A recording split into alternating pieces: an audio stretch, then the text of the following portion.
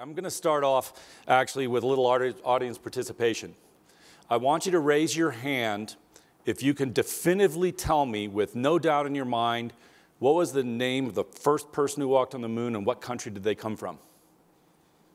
How many people know the answer? There's actually some people with their hands down.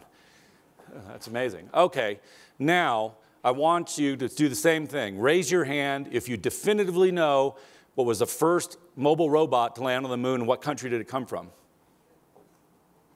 There's no hands up. Okay, uh, one hand. Okay, there we are. Yeah, the space nerd is there. But um, the reason I asked that is a little bit what Garvey said before, because uh, he talked a lot about you know why send humans, send robots. It's because nobody gives a crap about robots in the end of it all.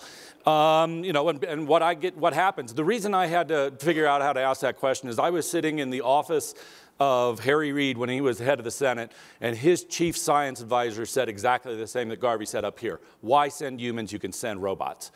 And there's two reasons. One is that I don't know a single robot that pays taxes.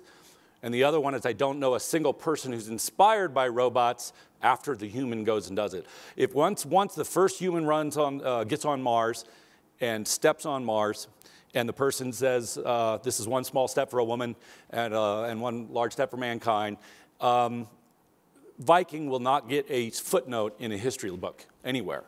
Um, so humans do matter, uh, but it's also inspirational. Um, if you're not inspiring the next generation of going somewhere, um, you're going to die as a species, you're going to die as a country. So, um, having started with that, environmental control, uh, I call it the forgotten subsystem. I was very, very uh, encouraged to see with uh, Ken Bowersox's talk that he had ECLSS on a lot of charts. I have a feeling that Robin Gatens at NASA had something to do with that. Um, but I also noticed, George, with yours, well, you didn't have uh, ECLSS on your charts when you uh, labeled a bunch of subsystems.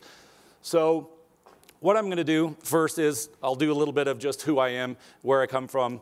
One, only one chart, no long videos, anything I promise. Um, Paragon uh, has been in business for 27 years, almost 26 and a half years.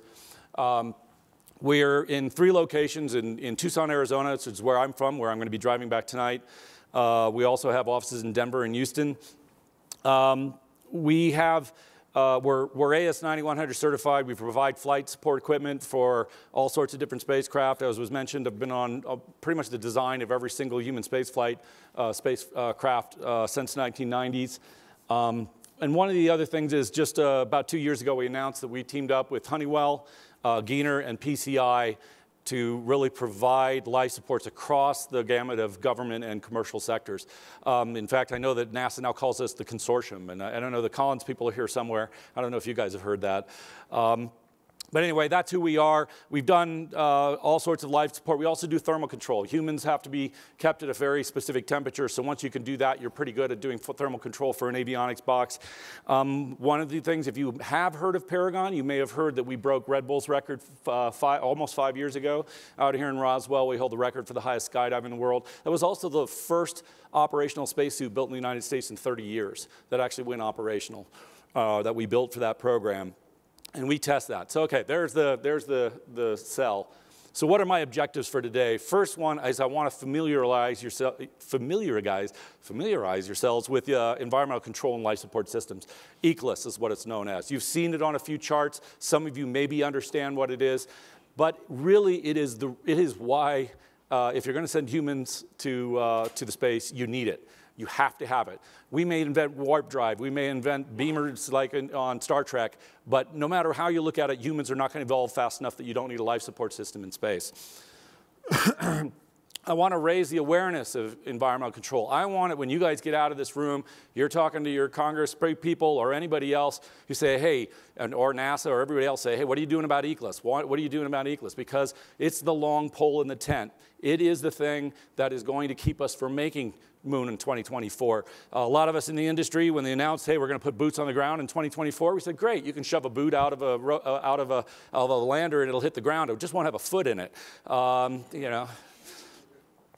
Um, chart. I know, I'm not really going to go through this whole, whole thing here. Um, I thought somebody had a, had a uh, thing here, but really environmental control and life support is, comes up from three things. It's the actual life support it's the thermal control, keeping the uh, human at the right temperature, generally 70 plus or minus 2 degrees. and then the crew systems that go with that. And that's often very forgotten. It's the, it's the toilets, it's the, um, uh, it's the, the, uh, the clothing, the, every, everything pretty much that a human needs, if you need clothing at all, and that's a whole other point in itself. Um, it's interesting, I, uh, uh, Wayne mentioned about a certain person who was uh, debuting a rocket a little while ago or doing a press thing on it, and they said, sort of, yeah, environmental control is easy. Uh, back in can't remember what year it was, but IAC in Guadalajara, of course, Elon Musk said, well, here's my new BFR. It's going to take 500 people to Mars. I got a call from a, from a, uh, a person in the press that I'd known for 20 years. And they said, so what do you think about this? And I said, well, I don't see where the bathrooms are. And, uh, the person kind of laughed, and I said, No, that's, that's really serious. That's my thing. I can tell you that, spa- that spacecraft that size cannot hold 500 people because you do not have enough room for the bathrooms and the storage and the processing urine and feces and everything else you need to do. This is another reason, by the way, they put me after lunch, is because I talk about urine and feces and everything else. Um, it's not because I want to save money at the, at the, at the break afterwards, I promise.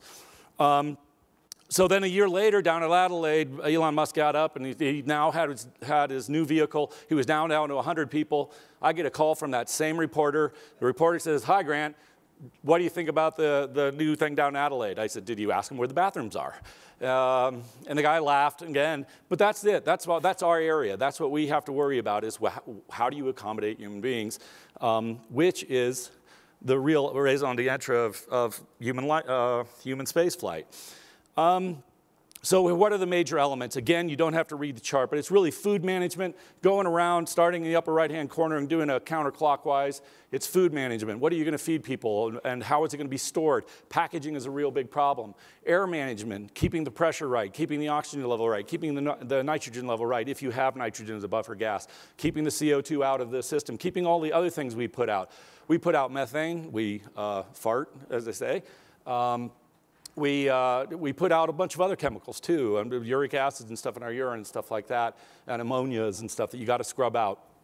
Um, the human accommodations itself, the medical provisions, waste collection. I'm, I'm uh, going to go through this pretty quick because I actually have this chart later to talk in more detail.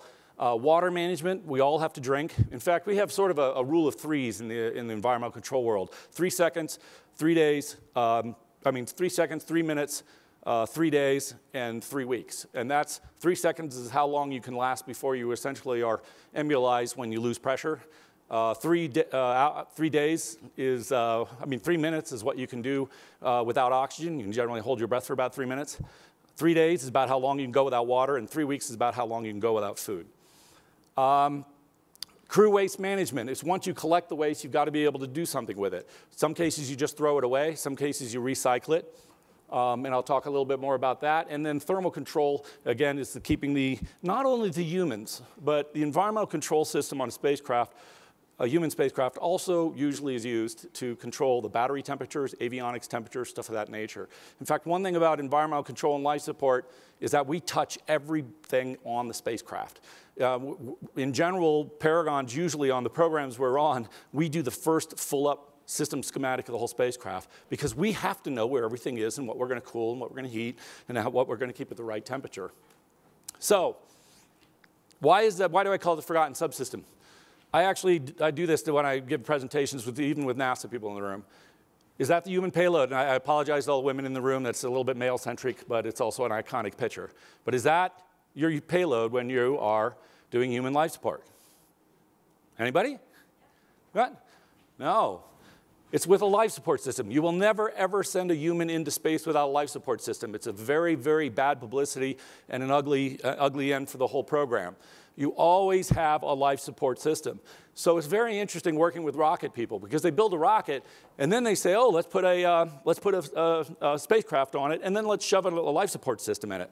In fact, if you want to see people from NASA turn green, and especially people from Marshall, tell them that NASA is actually a biology organization with a little bit of, a of rocket technology thrown in.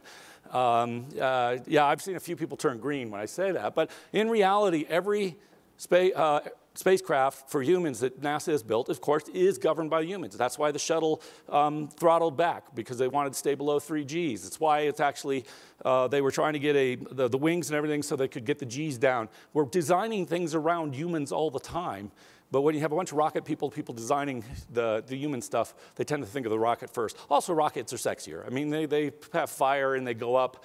Uh, when they fail, they fail fairly spectacularly. Um, so is it forgotten? I mean, you know, you can't take my word for it here. This was actually from The Verge, which is a publication, read a lot, uh, definitely in Silicon Valley, from July 18th. And they had this list of four problems, and they had quotes from NASA people. And they said the four problems of going back to the moon transportation, talked all about the rockets the outpost, which was also known as the gateway. And I will say this I don't often agree with uh, Bob Zubrin, and in this case, I disagree vehemently, and I got to admit with Garvey also. The outpost is absolutely needed, not to get to Mars, not to get to the moon necessarily, but if you want to get to Mars, you need something that tests your life support system for a long duration, and that's the system will do it. And I'll tell you why space station won't necessarily hack it. Uh, the landing, they talk about the landing. They talk about there's no mention of the environmental control system in the landing vehicle on, on the problems that, uh, that NASA will have, except for the thermal control, because of course getting through lunar nights and lunar days is very tough. Uh, two, long, two week long days, two week long nights. Um, and then they talk about the suits. And yes, of course, suits are, in fact, suits are essentially an environmental control system writ small, and you, you put a person in it because that's what it's supposed to do, is keep a person alive inside of it. Um, but mainly what they talked about in that thing is uh, surface uh, versus on-orbit capability, how, how much mobility they had. It didn't really talk about how do you replace the oxygen, how do you clean the suit, how do you keep dust out, how do you keep dust from ruining your systems and stuff like that. So here's another audience participation. How many people left their hotel this morning worrying if they had enough oxygen to make it through the day? Anybody? Anybody? The only people who said yes in that in the talk are people who smoke. But other than that, it, it, it, it, you don't worry about it here, but that's a continuous worry when you get into space. And in fact, that is why I started Paragon, because I know that no matter whatever all the technology goes, if we want to have humans go out to space, you're going to need life support. So I've got a guaranteed, uh, guaranteed market for the rest of eternity, really. Um, finally, uh, popular culture. One of the problems about a space conference like this, which I, I love, I love this space conference, it's the best one I go to for a lot of reasons, but, and Pat does a wonderful job, is that a lot of humans do not care. We're sort of in the bubble, you know, sort of like how Washington's in the bubble and everybody else. We're sort of in the space bubble, a lot of us. But uh, it makes it out into popular culture right away with The Martian. You know, if oxygen breaks down, I'll suffocate. I don't know if you can read this. I apologize for the, uh, the word at the bottom there. Um, I know a lot of people have asked me what was the most unrealistic thing about the Martian. And do you know what the most unrealistic thing about the Martian was? How modern the NASA buildings looked.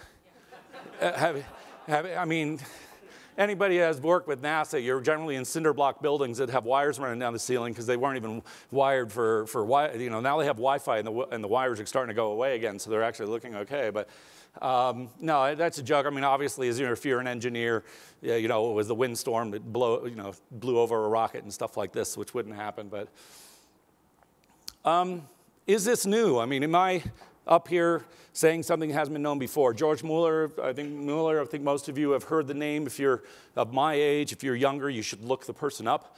Uh, was very integral in the success of the Apollo program. In 1966, said he was advocating for essentially an Apollo 8 mission around Mars instead of like Apollo 8 went around the moon, doing one around Mars. He said, for three reasons, we have to prove navigation, life support, and communications. This is a quote. I did not, the only thing I did is bold life support on this. Our robotics programs, which are fantastic, and, and despite what I said in the beginning, I love them.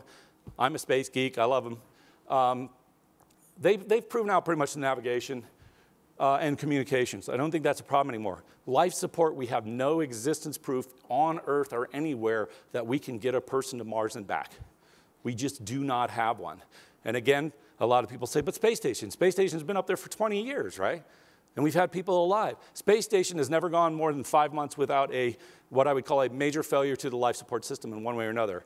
Major failure being that it, the, the, life support was in a degraded mode or degrading mode, which were, were, uh, were affecting operations. Then there's some reasons for that. Um, so again, here maybe getting a little bit into, into ISS. Maintenance, what's different, or how does ISS handle things? For one thing, maintenance and logistics. That's going to come up a lot in the rest of my talk.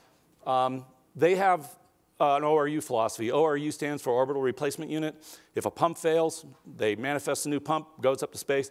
They are actually designed in to be able to pull out the pump and replace it. Sometimes things break that they didn't think they were going to have to replace. Uh, I know I was talking to John Curry last night about the solar arrays.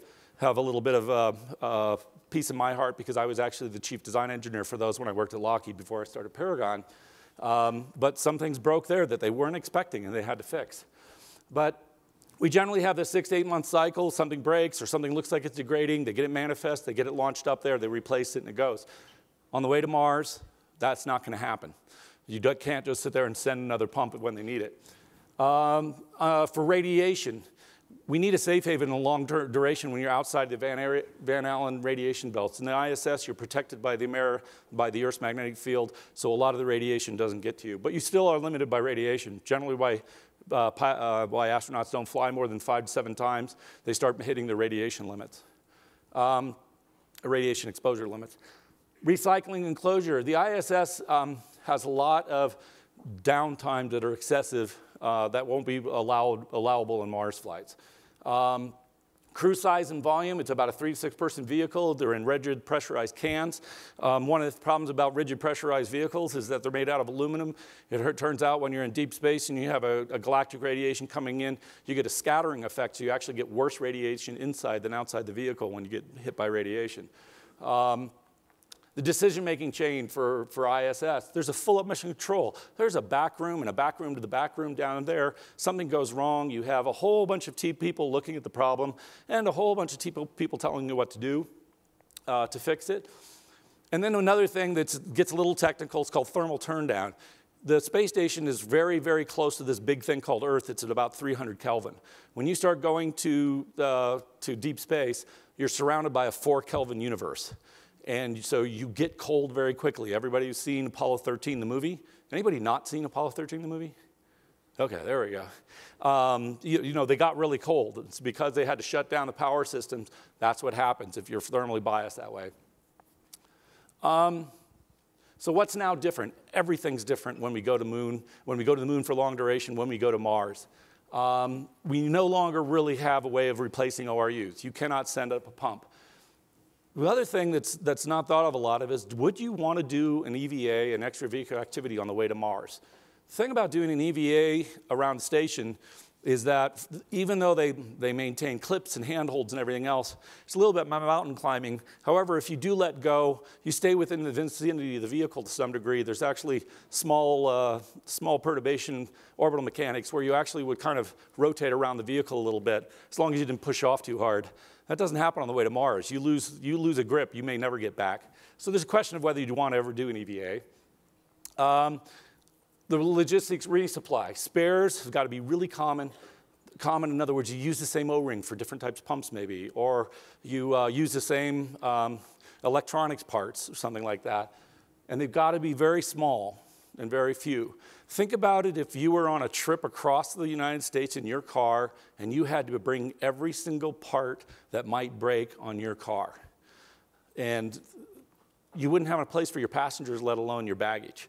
So you've really got to have the ability to replace only those things that are small, again, like O-rings. You wouldn't take a whole engine in the back of your car with you. You'd maybe take a few new, you know, uh, piston rings, stuff like that to fix your car. That's got to be really, really well thought out. It has been thought out on ISS, and they've done some brilliant thinking on that, but they've always had the crutch of they're only 30 minutes away from Earth, they're only eight, eight months from being resupplied, and they can launch up fairly big things.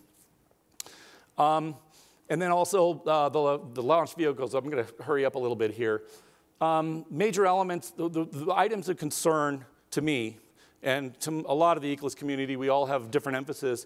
Food packaging, this is the number one trash thing. What, what every progress that leaves, every Cygnus that leaves, uh, to lesser extent the Dragon, they're packed full of trash. And that trash, a lot of it has to do with food packaging.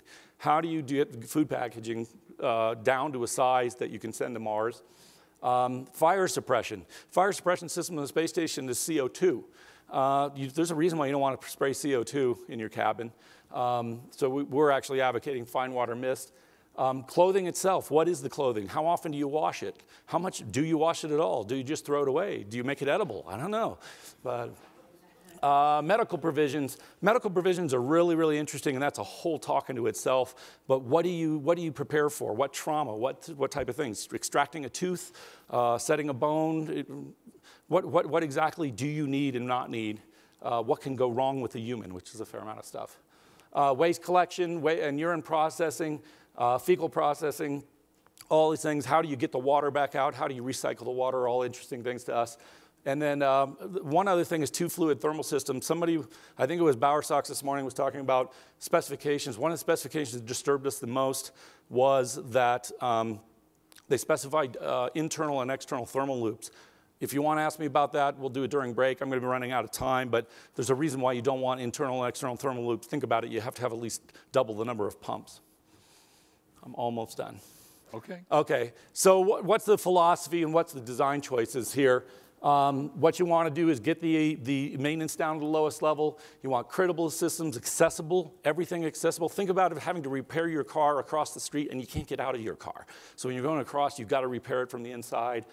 Um, automation, there's a lot of automation things going on, and you want to make it as simple as possible. Um, I'm, I'm, a real big uh, uh, advocate of keeping things simple uh, as opposed to complex, what you do. Um, and then keeping uh, the pressurized volume too. I talked about aluminum cans. I would go with a, a flexible cans. Um, I'm going to scream through this so that, I mean, Wayne is sitting here with a hook, but um, one of the reasons that environmental control is such a problem is because you cannot accelerate testing. Most of the failure of environmental control has to do with multiple fluids in a microgravity environment and biological fouling and hazarding. You cannot speed that up. Life does not, you know, you can't cycle it 15 times a day to, to, to figure out when, how many cycles before it breaks. Biology takes its own time. So really, if we want to be doing a 3D mission to Mars, we need to be testing that now and get 10 years of testing under our belt to know that it'll work for those three years. And I'm going to go away from that and I'll see if anybody makes a comment. But there's a problem about mission control. There is no more Houston, you have a problem when you go to Mars. It's Houston, we had a problem 15 minutes ago, and how do you solve that problem? And that's all I had to say at this point, and hopefully Grant, we got some questions. Grant, your uh, talk resonates with me, and I'll take 30 seconds of your question time because um, it's not in a little biography, but most folks know I was a space shuttle flight director for 40 flights over 15 years, and we practiced for a many disaster drills, launch aborts, collision between spacecraft, fire, you, you name it, we practiced for all of them. But in all those flights, the only time I ever really came close to declaring a spacecraft emergency and causing an early deorbit of the shuttle was when the toilet broke. yeah. And you may laugh, that was entirely serious, and there are a number of flight rules on it. And, uh, and uh, real space people consider um, life support very important. So, to your questions. You're going to love this first question. How many people do you think could fit inside SpaceX's Starship for a trip to Mars after figuring in the life support systems? Um, in the vehicle he showed, I haven't seen any, uh, any interior layouts of where the tanks are, frankly, so it would be a total guess. Um, at this point in time, I would say seven, from what I've seen of the outside of it and what I understand from the interior. Okay, uh, a, a, a, a, human factors question that's kind of a difficult one. What's the state of the art for protecting humans from galactic cosmic radiation in deep space? Um, speed. Um, galactic radiation, unlike uh, SPEs, which are solar proton events, are so high energy that almost no shielding works, frankly. Are, by the time you got a shielding that was practical, it would outweigh the spacecraft. Um, so the real big way to limit the problems with it is to get there as fast as possible and get back as fast as possible. Having said that, I'm not a radiation is the sky is falling type of thing, even though in some ways it kind of is. Um, uh, how much risk are you willing to take? Mainly, radiation is measured in risk of, of developing cancer later. Um, and there's a 3% rule that they work with. Uh, I often, uh, when I'm joking around with my NASA colleagues, say that well, if I moved from Tucson to Houston, my, uh, my likelihood of cancer goes up by 3%. So, so uh, I, I'm, uh, I'm not willing to take that risk because that doesn't make sense to me. But Moving right along. In what year good. In what year do you expect NASA will field a spacesuit that's capable of significant lunar EVA activities? Yeah, uh, the, boy, that I could dis- dissect that question a lot of ways. Should NASA build that spacesuit? Um, there is a lot of uh, capability. Collins builds spacesuits, Paragon builds them, uh, along with ILC. Of course, there's a bunch of commercial spacesuits going on. I should mention David Clark there, which is one of the one of the big ones in the industry too. Um, it depends a little bit on what you want the suit to do. Uh, I think the biggest problem we have with the suits, if you ask the astronauts, and I've talked to all of them that have walked on the moon but one, um, it wasn't lack of oxygen, water running out, or anything. They just said things were falling apart, especially the last ones, Apollo's 15, 16, and 17. Zippers were starting to not work, seals weren't working, stuff like that. It's the dust that's going to be the problem for long duration spacesuits uh, on, the moon, on the moon, I feel. Well, here's a very popular question that frankly I don't understand, but I will ask it. Do you think additive manufacturing can help over cover some of the ground concerning having spare parts that may be needed? Um, yeah, I, I've uh, given a few lectures on, uh, on 3D uh, manufacturing or additive manufacturing. And, and frankly, um, uh, full disclosure, we, uh, we are actually working in, in tandem with, three, uh, with Made in Space on something. The problem with 3, 3D manufacturing that I see is that it, to use it as a solution means you have to design it into the system. If you design a spacecraft like we do, where every single part is selected for optimization, you sometimes use a titanium 246 on one thing, a titanium 44 on another, you use aluminum uh, 6061 or 7075. Each one of them is a very different chemical makeup. Can you make a printer that can print all of those? And you have to carry the raw materials with you unless you develop a way to make the raw material in space. So if you do not limit the materials you're going to build with a 3D printer, your 3D printers, which break down too, by the way, and the raw material are going to outweigh the vehicle again. So yes, I think it's going to have limited use. It's going to have use for some very good things. One of them I'm, I'm really into is printing food. Um, it, it, actually is, uh, there's some that you can print biological stuff now. Printing food, printing meats, uh, in a way, uh, I see as one of the, one of the, um, one of the things for additive manufacturing. Well, it'd be a real contest between growing potatoes with stuff and printing your meat, I guess, mm-hmm. right? Okay, what is the biggest challenge you see for your company at this time? Um, consistency of, uh, of, of programs. Um, th there's a bunch of different trends going on in our company, uh, in, in our industry right now. One of them is uh, messianic billionaires that want to do everything themselves. Um, that's a little bit of a problem. It's, it's kind of interesting, but uh, let's just say they're not really um, uh, fastidious, fastidious, about maintaining your intellectual property uh, and using it uh, with permission. Um, that's one problem. Uh, but frankly, you know, Paragon is one of those companies that actually work on two different ones. I think Mary Lynn Dittmar mentioned this yesterday. We do commercial and we do government the problem with government is administrations change. We've been through so many different whiplashes, you know, and Obama came in and canceled Constellation, and every it seems like it's a trend now that you, what the first thing you do is cancel your predecessor's uh, favorite space program. Um, so I see that as a big problem. Uh, but the other one that's very, very uh, pertinent here is, is STEM education and having a workforce of the future. Um, we are graying. Uh, I'm, I'm kind of on the young side to some degree. I'd like to think so. Um, but finding the talent that's willing to come in and do this. That's one thing I will say. I'll give uh, Elon Musk and, uh, and, and, Jeff Bezos and those guys, they've really energized uh, a lot of people. In fact, if you ask uh, recent college graduates uh, in the technical fields, where do they want to go work? It's SpaceX and Blue Origin and stuff like that. But it's still, it's a very tight market right now. It's very hard to find people that are skilled. How might life support systems for a moon base differ from those needed for an orbital outpost like a gateway? Oh, wow, yeah. Um, there's a saying in the industry that uh, 1 6G of the moon is a lot closer to 1G than zero. Uh, with if you're a mathematician may not make sense, but it surely makes sense in our world. Um, having 1G allows for separation of gas phases and liquids and stuff like that, um, which makes our job a lot easier in a lot of ways. Um, the, I will th say one thing is, is dust is, is the one, uh, one issue.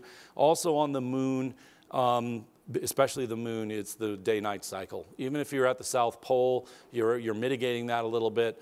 Uh, but if you want to land, anywhere else, taking a six, uh, a two-week night and a two-week day is extremely, extremely difficult. Um, while we're talking about the differences, uh, what are the cost differences between the ECLSS systems for those two different operations, orbital and lunar surface? Um, wow, that, that's sort of how, how, how big is a rock do you want? Um, it depends on how sophisticated you want to be. Uh, you know, it, it's, I, I, won't name prices up here because, uh, frankly, I think, if, especially if uh, Bowersox is in the audience, um, because we're in competition for a whole bunch of environmental control with lunar landers and stuff, I don't want to men mention any dollar numbers. Um, in general, because of the amount of things you want to do on the surface, the surface environmental control system is probably going to be more expensive because you will be having suit air locks. Yes, you have the locks up, in the, up on the spacecraft to get in and out of them, but you have the dust mitigation control. Um, yeah, you, you just generally put more capability on the vehicle that's landed if you're going to be there for a long period of time. You, you had a chart that said heritage is misleading. Can you explain that a little bit? Oh, okay. I have a perfect example of that, and it, it's uh, Robin Gatens gave me this example. She was on a panel that I was chairing uh, a few years ago. Um, for one thing, I've said we've got to redesign systems. I talked a little bit about the the, the International uh, Space Station has been a great test test bed for testing stuff, but you can only you only can learn as much as you've sort of baked into how you do things up there. Um, but the, the example she gave was really interesting. There was a piece of environmental control hardware. I can't remember what it was. I know I had it one time. And it got built and was up there for 10, 10 and a half years, and it failed. So they went and they ordered another one from the same manufacturer, same part number, got it up on orbit, and it lasted three months. Um, and so it's like, wait, what, what is that? But there are lemon problems, and that's another reason why you got to get things out and test it. Um, but also, uh, just being in the industry and having been in the space industry for 30 years, I've seen a lot of arguments, and I've got to admit, I've put them in my proposals too about how much you have heritage on stuff. But customers change requirements a little bit. Let's do it the same, except uh, the most expensive five words in our business is while we're at it. Um, that, that really will kill you, and that's why heritage always seems to disappear. Thank you, Grant. This is, as the comment here says, awesome talk, learned so much. Oh. Thank you so very much. Thank you very much. Thank you. And I'll be outside if you have questions.